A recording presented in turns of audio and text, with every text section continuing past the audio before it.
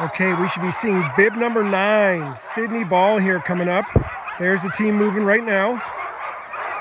Tug 150 2023 edition here at the Tug Bar and Grill.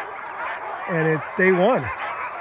Lots of great help getting the team across the road. You can see the human wall of volunteers to keep the dog on the route. Bib number nine, Sidney Bahl. And there they go.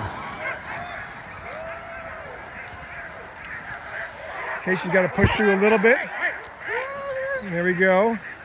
And they pull right through.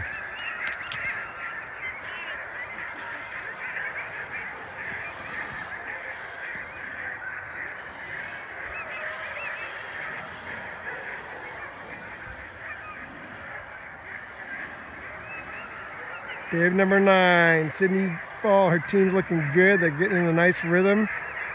She's got 75 miles to the halfway mark at Tala Vista Lodge. Good luck.